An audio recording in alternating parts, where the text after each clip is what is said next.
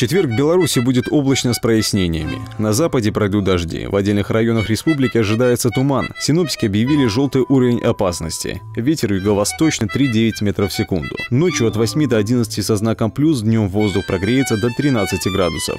Стоит помнить, туман – это не только красиво, но и опасно. В первую очередь в радиусе риска водители. При плохой видимости стоит снизить скорость движения, соблюдать безопасную дистанцию, не совершать резких маневр, передвигаться с включенным ближним светом фар.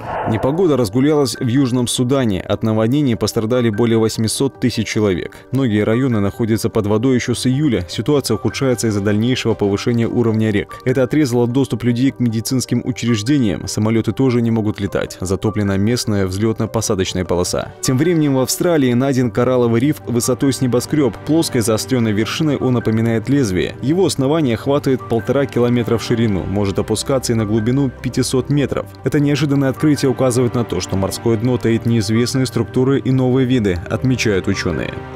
Завтра в Бобруйске будет туманно и пасмурно, возможно кратковременные дожди. Ветер восточный от 8 метров в секунду, ночью ожидается до плюс 6, днем потеплее до 12 градусов. Максим Кемель, Андрей Богдан, Бобруйск 360.